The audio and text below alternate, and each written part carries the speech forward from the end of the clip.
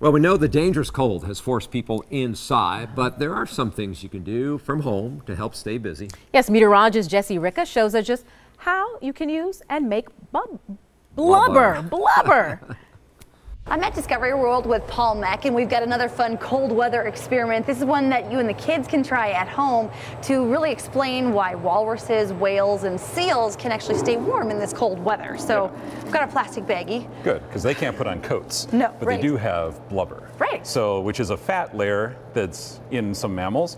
Here you're using vegetable fats, so just shortening. And important thing, have two bags, and you're going to scoop up some and then put it into the outside bag, and you kind of want to make it squish all the way around your hand.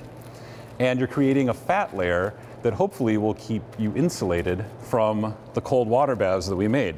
Taking advantage of the snow. Right. We got some snow. One thing that we like to do is you can have one hand in one water bath and one hand in the other and see if you can feel the difference. Even little kids can understand this. Uh, and the fun at Discovery World is if you have a thermal camera, you can actually see the temperature difference here that your hand that was in the blubber bag is nice and warm and the one that has blue fingertips was the one that was just in the ice water. So not practical for everyday use, right. but great for a science experiment with little ones. I love it. So do that there, not at right. home or outside.